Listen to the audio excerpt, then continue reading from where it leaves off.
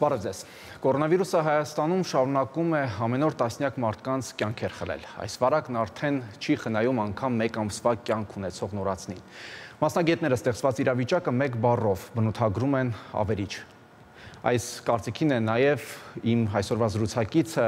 առողջապահության նախկին նախարար Քաղաքացիական պայմանագիր խմբակցության անդամ Արսեն Թորոսյանը։ Շնորհակալություն պարոն Թորոսյան մեր հրավերն ընդունելու համար։ Իդեպ մեր դիտողներին տեղեկացնենք, որ մենք այս պահին առանց դիմակով ենք, քանի որ գտնվում ենք համապատասխան հերավորության վրա։ Պարոն Թորոսյան ամբողջացրել եմ անցած շաբաթվա վիճակագրությունը, ըստ որի մեկ շաբաթում 11328 նոր դեպք արձանագրվել, մահացել է 267 քաղաքացի առողջացել է ընդամենը 6098 հիվանդ։ Ինչու եմ նշում ընդամենը, որովհետև առողջացածների թիվը կիսով պակաս է նոր արձանագրված դեպքերի թվից։ Որն է այս պատկերի ձեր գնահատականը։ Դուք նշեցիք պատկերը ավերիչ են ու կարելի է նաև անվանել աղետալի։ Ես կիսում եմ ամբողջությամբ այդ տեսակետը, քանի որ փաստացի մենք ունենք զոհեր, Ես հաճախ մտածում եմ մահվան դեպքեր անվանեմ, թե զոհ զոհ անվանեմ մեր քաղաքացիների կորսված կյանքի կյանքը, բայց ես համարում եմ, քանի որ մենք պայքարում ենք մի անտեսանելի ճշնամու դեմ, այնուամենայնիվ դրանք զոհեր են, եւ ցավում եմ, որ մենք չենք կարողացել նրանց պաշտպանենք ունենալով պատվաստանյութը, որը մեծամասամբ պետքա լուծել էս հարցը ու պետք է ջանքեր գործադրեն, քանի որ այլ ընտրանք չկա լայնածավալ պատվաստումից զատ, ջանքեր գործադրենք կասեցնելու այս մեր անտեսանելի թշնամու ընթացքը եւ փրկելու մեր արյուրավոր արդեն հազարավոր քաղաքացիների կյանքը։ Իրավիճակը նաեւ հետաքրքիր է վատ իմաստով նրանով, որ մենք փաստացի արդեն 4-րդ ալիքում ենք, որը ամենաաղետալին է կարելի է ենթադրել, որ հնարավոր էր այս ալիքը ավելի քիչ աղետալի լինել, բայց ունենք այնինչ ունենք։ Մենք ունեցել ենք առաջի ալիք, երբ որ սկսվեց երկրորդ ալիք անցյալ տարի այս ժամանակ պատերազմով պատերազմի ժամանակ նաև երրորդ ալիք այս տարվա գարնանը եւ չորրորդ ալիք, որը փաստացի ամենաաղետալին էր, որը ամենայն հավանականությամբ պայմանավորված է այս ավելի մահաբեր եւ ավելի վարակելի շտամով դելտա շտամով, ինչպես նաև մեր քաղաքացիների կողմից պատվաստումը բավարար չափով չանելու կապակցությամբ։ Այսինքն, եթե մենք ունենայինք բավարար չափով պատվաստած քաղաքացիներ, ինչը մեր կոլեկտիվ գիտակցության արդյունքը պետք է լիներ եւ ոչ թե ոչ միայն ինչ որ մեկի աշխատանքի կամ ինչ որ մեկի գործունեության, ապա մենք հնարավոր է ունենայինք շատ ավելի քիչ թվով զոհված քաղաքացիներ եւ պետքա այդ գիտակցումով գնանք առաջ, այսինքն հիմա պաշտպանվենք հնարավորինս տարբեր հակահամաճարակային միջոցառումներ անելով, ինդիվիդուալ մակարդակով, հանրային մակարդակով եւ այդ գիտակցումով, որ այլընտրանք չկա, ապացուցված գիտականորեն հիմնավորված միակ ճանապարհը այս արտաքին արտաքին չէ անտեսանելի ճշնամու դեմ պայքարի դա պատվաստումն է պատվաստվենք որ գոնե մյուս ալիքները մենք չունենանք կամ ունենալու դեպքում մահվան դեպքեր չունենանք Այ մարդկանց վարկագծի մասին դուք էլ ձեր խոսքում նշեցիք, շուրջ 2 տարի է, որ ամբողջ աշխարհը պայքարում է կորոնավիրուսի դեմ, երբ հետ հայացք ես գցում այդ ժամանակաշրջանին, հասկանում ես, որ մարդիկ սկզբնական շրջանում ավելի զգոն էին, ավելի զգույշ էին, եթե կուզեք վախենում էին սկզբնական շրջանում կորոնավիրուսից, իսկ հիմա երբ մահերն ավելի շատ են եւ ինչպես խոսքի սկզբում նաեւ դուք ասացիք, այս ամեն ինչը ավերիչ է, կարծես թե մահերը ռեկորդ է, որ սահմանում ենք մահերի թվով, մարդկանց որ գնա ունենալով գոնե զգոնությունը ավելանա,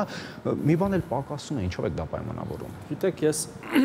մտածել եմ դրա մասին, իհարկե սկզբնական շրջանում երկու մոտեցում կար։ Ամենաամենասկզբնական շրջանում այնուամենայնիվ այդ թվում հանրային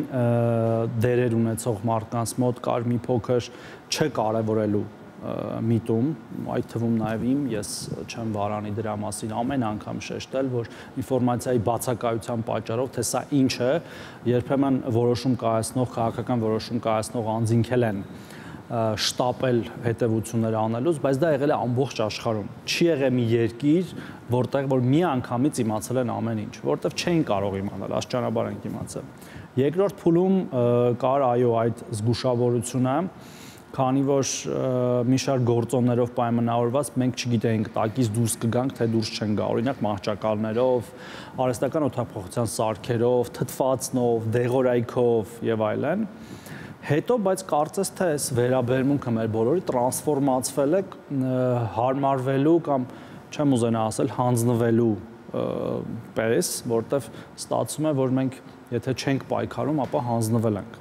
եւ նաեւ պետությունը երբ որ կարողանում է ապահովել առնվազն պատշաճ բուժօգնությունը մարդիկ տենց մտածում են որ այնուամենայնիվ եթե իրանք հիվանդանան իրանց մոտ ծանր ընթացք կլինի իրանց համար մահճակալ կգտնվի հիվանդանոցում եւ նրանք հավանաբար կփրկվեն չնայած որ մենք գիտենք որ առնվազն 2-3%-ը չեն փրկվում եւ այդ կոլեկտիվ հարմարողականությունն է կարծում եմ պատճառը, որ ավելի զգոն չենք։ Գումարած դրան ես չեմ բացառում նաև, որ մարդիկ հոգնել են այս հակահամաճարակային կանոններից, դիմակներից, իրարից հերրու կանգնելուց, հերթերում հերրու կանգնելուց եւ այլն, եւ ասում են դե ինչ ուզում է թող լինի մոտավորապես այդ ներք ներքուստ իրանց համար։ Բայց իհարկե պետքա մենք միշտ թմկահարենք, որ այդ ինչ ուզում է թող լինի, առնվազն կարող է երկարացնել իրավիճակը։ առնվազն մեր հարազատների մահ է նշանակում իմ հարազատների, ձեր հարազատների, մեր բոլորի հարազատների եւ եւ նաեւ երկարատև խնդիրներ պետության, առողջապահության, տնտեսության համար։ Եվ այստեղ է գալիս այդ երկընտրանքը մենք ի վերջո հանձնվենք, թե չհանձնվենք, ես առաջարկում եւ հորդորում եմ չհանձնվել եւ դրա մեթոդը կա։ Կա զենքը չհանձնվելու։ Զենքը պատվաստվելն է։ Հիմա մենք պետքա վերցնենք այդ զենքը, ամեն մեկս յուրաքանչյուրս ու չհանձնվելով գնանք առաջ, որովհետև ասում եմ, այլ ընտրանքը շատ ցավալի է, ինչը որ մենք այսօր տեսնում ենք։ Պարոն Թորոսյան, դուք ձեր Facebook-յան էջում հաճախ հրապարակում եք տարբեր երկրներում իրականացված հետազոտություններ, որոնք փաստում են, որ պատվաստված անձանց շրջանում թե վարակվածության եւ թե մահացության դեպքերը բավական քիչ են, մեղմ է ասած, բավական վիճակագրությունն է համենայն դեպս այդպես փաստում, ինչ հետազոտություններ են դրանք եւ ինչ եզրակացություն պետք է անել դրանից։ Տեսեք, հետազոտությունները բազմաթիվ են։ Վերջինը, որ հրապարակվել է ամերիկյան հիվանդությունների վերահսկման կենտրոնի կողմից, դա այն է, որ պատվաստված քաղաքացիները՝ ի տարբերություն չպատվաստված քաղաքացիների մոտ 6 անգամ ավելի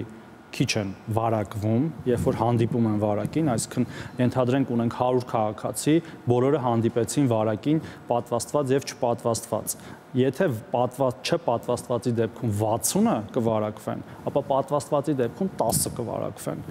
Եվ նույն տրամաբանությամբ, եթե 100 քաղաքացի պատվաստված կամ չպատվաստված վարակված արդեն լինեն, ապա նրանցից օրինակ պատվաստվածի դեպքում կհիվանդա կմահանան X եւ չպատվաստվածի դեպքում չպատվաստվածը կմահանան x, իսկ պատվաստվածի դեպքում x-ը բաժանած 11-ի։ Այսինքն, եթե 100 քաղաքացի լինի, 100-ը 10-ի դիմաց, շատ կոպիտ ասեմ։ Թե 100 100-ը կմահանան չպատվաստված, ապա 10-ը կմահանան պատվաստված։ Իդեպ սա չեմ ուզում որ դառնա կրկին մատի փաթաթան, որտեղ ասում են դե միևնույնն է կմահանան։ Միևնույն չի։ Այդ 10-ը, որոնք որ պատվաստված լինելով այնուամենայնիվ կմահանան, իրանք շատ շատ շատ ավելի բարդ խնդիրներ ունեն եւ պատվաստումը նույնիսկ չի կարողանում իրանց փրկի, բայց դա չի նշանակում, որ մենք պետքա բոլորս դասվենք այդ 10-ի շարքին, այլ հակառակը։ Պետքա մտածենք, որ փրկվելու միայն միակ ճանապարհը դա պատվաստումն է իհարկե պահպանելով մնացած բոլոր կանոնները եւ ընդհանրապես հետևելով մեր առողջությանը, կարգավորելով մեր շաքարային դիաբետը, ճնշումը, սրտային անբավարարությունը, գիրությունը եւ այլն։ Իսկն բոլոր համալիր միջոցառումների արդյունքում մենք պետքա փրկվենք։ Եվ հետեւաբար այդ հետազոտությունները ելի կան օրինակ մոտ 12 անգամ ավելի քիչ են հոսպիտալացվում, այո, 12 անգամ ավելի քիչ են հոսպիտալացվում պատվաստվածները եւ հետեւաբար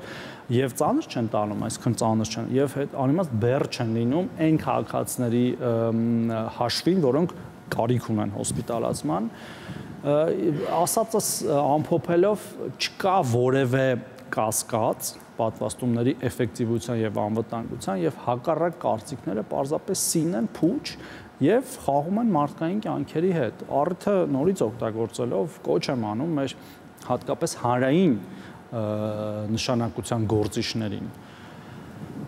գիտակցել իրենց խոսքի արժեքը եւ կոչեր անելիս միշտ հիշել, որ այդ կոչը ուղղակիորեն մարդու կյանքի արժանանալ։ Կոչ անել, պատվաստվել եւ ոչ թե հակառակը, քանի որ ասում եմ, մարդու կյանքան մարդկանց կյանքի հետ են գործ ունենալու եւ այդ մեր օրինակով ցույց տալ, որ պետքա պաշտպանվել եղած միակ ապացուցված գործիքով եւ ոչ թե այլ ինչ որ մտածածին բաներով։ Այ օրինակով ցույց տալու մասին ձեր 12-ամյա դուստրը առաջիններից էր, եթե ոչ առաջինը, որ իր տարիքային խմբում պատվաստվեց, արդեն մի քանի օր անցել է, որևէ դրսևորում եղավ պատվաստում պատվաստելուց հետո եւ ես պատկերացնում եմ հիմա թե այն մարդիկ, ովքեր հասուն լինելով, գիտակից լինելով վախենում են պատվաստվելուց, ինչ ինչքան կվախենան իրենց երեխաների համար։ Այս առթը օգտագործելով մի հիմնարար բանի մասն եմ ուզում խոսելու, հետո կոնկրետ հարցին կպատասխանեմ։ Տեսեք, ես միշտ համարել եմ, որ մեր այս այսպես կոչված Ջորջ անհեթեթ տեսություններին, կոնսպիրոլոգիական, դավադրապաշտական տեսություններին հավատալու պատճառը մեր կրթական մեծ բացն է, որ հենց երեխաները, հենց այդ իմ աղջկա, իմ դուստստեր տարիքում չեն ստանում դպրոցներում բարեբախտաբար ես գիտակցելով այդ ամեն ինչը անձամբ իմ աղջկա հետ եւ նաեւ բարեբախտաբար նաեւ դպրոցն է այդպեսին աղջկաս շատ մեծ ուշադրություն ենք դարձնում բնական գիտություններին քննադատողական մտածողությանը երբ որ կեղծիքը հնարավոր է տարբերել իրականությունից առասպելը ապացույցից չգիտեմ, մոլորեցնելը ճիշտ տեղեկատվություն հանձնելուց, տալուց եւ իմ աղջիկը ինքն է եկել ինձ ասել հայրիկ ես լսում եմ բոլորը պատվաստվում են դու էլ ես պատվաստվել մայրիկն էլ է պատվաստվել տատիկ պապիկն էլ են պատվաստվել բոլոր բոլորը պատվաստել են բայց ես երբ եմ պատվաստվելու Ես իրեն բացատրել եմ, որ դեռ չես կարող պատվաստել, քանի որ Հայաստանում 12 տարեկանի համար հաստատված պատվաստանյութ դեռ չկա։ Հենց կլինի կպատվաստվես եւ լինելու եւ բարեբախտաբար դա եղավ եւ մենք պատվաստվեցինք ու կոչ եմ անում, այդ իմ ասած թացը կոպիտ չորից տարբերելու գծի մեջ մենք ջանք գործադրենք։ Դա կլինի այսօրվա ջանք, որ մենք բոլորին բացատրենք հարգելիս այդ 5G-երը, չիպերը, ինչ որ անհասկանալի նյութերի անուններ են տալիս, չգիտեմ, հա, ինչ որ չբերությունը, ես ես ընդհանրապես զարմանում եմ ոնց կարելի է հավատալ այդ կներեք ես եթերը օգտագործում, բայց այդ հիմարություններին ինչ ինչպես կարող է պատվաստանյութը ազդել մարդու վերարտադրողական առողջության վրա, թե տղամարդու, թե կնոջ դնենք մի կողմ եւ հավատանք գիտությանը։ Երբ որ այս փաստերը, որ հիմա մենք մատնանշում ենք, դրանք տասնյակ հազարավոր, միլիոնավոր մարդկանց վրա են դուրս բերվել։ Նորից ուզում եմ հիշեցնել, աշխարհում մոտ 7 միլիարդ 7 միլիարդ դոզա պատվաստանյութ է օգտագործվել, մոտավորապես 3 միլիարդ մարդ պատվաստվել է, 3 միլիարդ։ Ի տարբերություն մեր 3 միլիոնի, որը դեռ շատ հեռու է ամբողջական պատվաստում ունենալու։ Մեր հարևան երկրներում։ Այդ թվում մեր հարևան երկրներում, այդ թվում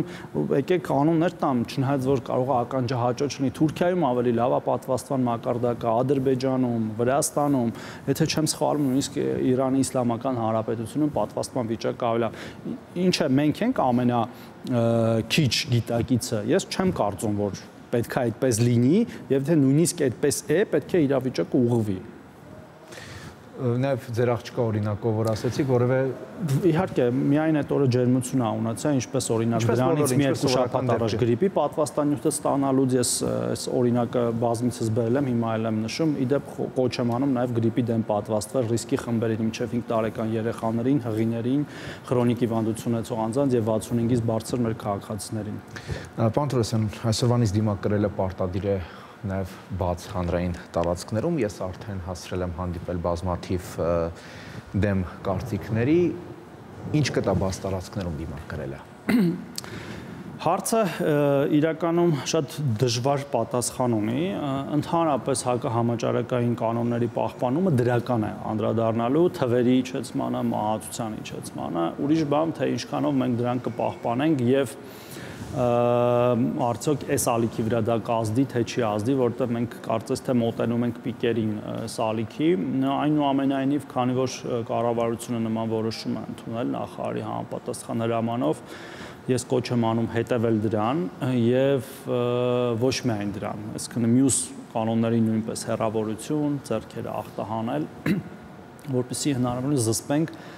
ցածր տոկոսով պատվաստանյութի ծածկույթ ունենալու պարագայում բարձր վարակելության եւ մահվան դեպքերը։ Սա կարծես թե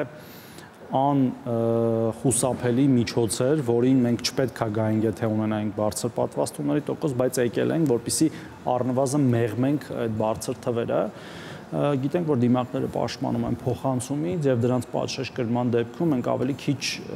վերարտադրողական, ավելի ցածր վերարտադրողական տոկոս կունենանք, երբ որ մեկ մարդը չի վարակում մեկից ավելի, այսինքն մեկից քիչ չի վարակում եւ հետեւաբար ալիքը մարում է։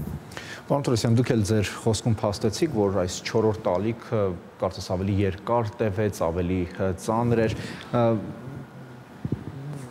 Եվ իրեք կար ժամանակ դա եւս ուզում եմ նշել, որ գիտնականները ասում էին, մատնանշում էին տարբեր ժամանակաշրջաններ, որ նա վարակը կնահանջի կամ դուրս կմղվի մեր կյանքից, անգամ 2021 թվականներ մատնանշում ավելի ուշ 2022 թվական, այդ դրա մասին կուզեի դուք։ Տեսեք, ամենասկզբում տարբեր հիպոթեզներ կային ընդհանուր մինչև 5-ամյա տևողություն էին նշում, բայց մենք ունենք այսօրվա փորձ արդեն ունենք երկրներ, որոնք ունեն շատ բարձր պատվաստման տոկոս 70-80 եւ ըստ էության իրենց մոտ կարելի է համարել համաճարակը ավարտված իր ուղի իմաստով այսինքն այո դեպքեր արձանագրվում են այո մարդիկ տեստավորվում են եւ ինչ որ կանոններ պահում են բայց մահացության դեպքեր գրեթե չեն արձանագրվում բոլորը գիտեն այդ պատվաստման անհրաժեշտությունը եւ պատվաստվում են պատվաստումների շեմը աստիճանաբար իջեցվում է մինչեւ հիմա 5-3 տարեկան միջև կա արդեն հուսով եմ այդ ապացույցների հայտ գալուն զուգընթաց այսինքն կիչեցվի այնքան որ ընդհանրապես որևէ մեկը մյուսին վարակելու խնդիր չի ունենա պատվաստված լինելով եւ առողջապահություն համաշխարհային կազմակերպությունը օրինակ 3 մեծ 20-յակի գագաթնաժողովին իր առաջ խնդիրներ է դրել, որ մինչև մյուս մինչև այս տարվա ավարտ առնվազն 40% երկրի ազգաբնակչության պատվաստման ցուցանիշ կունենա եւ մինչեւ մյուս տարվա կեսը մոտարապես 70%։ Ես իհարկե վստահ չեմ մենք կկարողանանք, այսինքն երկրագունդը կկարողանա դրան հասնել թե չէ, բայց դա է ճանապարհը եւ եթե մենք մյուս տարի առնվազն պատվաստումների հարցը բոլոր երկրների համար լուծենք, կստացվի, որ մենք համաճարակը որպես այդպեսին հաղթահարել ենք, պարզապես պետք է կառավարենք ինչքան որ դա պետք լինի, ինչպես նորից եմ նշում, օրինակ գրիպի համավարակի դեպքում, որը ամեն սեզոնին տեսնում ենք պատվաստվելով։ Այո, միակ զենքով պատվաստելով։ Եվ վերջում պարոն Թորոսյան, անցնենք այլ թեմա, իհարկե թեմատիկան պահելով կառավարությունը նախատեսում է ներդնել առողջության համապարփակ ապահովագրության համակարգ, այս մասին ասված է կառավարության 2021-2026 թվականի ծրագրում Առողջության համապարփակ ապահովագրությունն ասվածն ինչ է իրենից ենթադրում եւ հստակ է թե երբ այն իրատեսական ժամանակը եւ կգործարկվի այդ համակարգը։ Ես կարող եմ ժամերով խոսել առողջության համապարփակ ապահովագրության մասին եւ կարծում եմ դա շատ առանձին մի մեծ թեմա է, բայց եթե շատ կարճ, ապա դա մեր քաղաքացիների առողջական խնդիրները պատշաճ ժամանակին եւ առանց հավելյալ ֆինանսական բեռի լուծելու համակարգ է որը իրենից ենթադրում է նոր ֆինանսավորման մեխանիզմների ներդրում գումարների հավաքման եւ ծախսման տեսանկյունից եւ կառավարության նախորդ կառավարության ծրագրում նույնպես եղել է, բայց պայմանավորված կ ូវ իդով եւ պատերազմով հետաձգվել է։ Հույս ունեմ, որ նոր կառավարության օրակարգում լինելով այնուամենայնիվ ան կիրականացվի, չնայած նաև գիտեմ, որ դա շատ բարդ է լինելու երկու տեսանկյունից կոնսենսուսի հասնելու այդ համապարփակ ապահովագրության դետալների շուրջ, որովհետև ինքնին բառը կարող է շատ հետաքրքիր եւ գրավիչ հնչի, բայց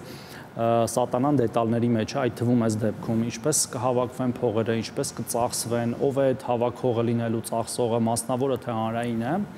եւ դրա տակ այդ ամեն ինչը պետք է կառուցվի կոնսենսուսից հետո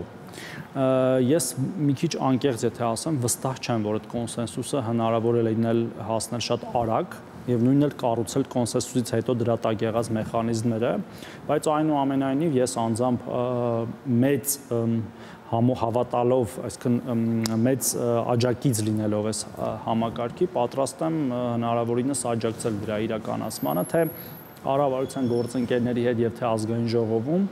եթե չեմ սխալվում 22 թիվն է նշած սկիզբը, բայց նորից այդ իմ ասած գործոնները հաշվի առնելով նաև շարունակվող համավարակը, իդեպ համավարակը ոչ մեկ չի դեռ չեղարկել, պետք է հասկանանք արդյոք դա հնարավոր է 22-ին թե ոչ։ Շնորհակալություն։ Ես եմ շնորհակալ։ Հեռանկարում քաղաքացիական պայմանագիր խմբակցության անդամ առողջապահության նախկին նախարար Արսեն Թորոսյանն էր, առողջ եղեք։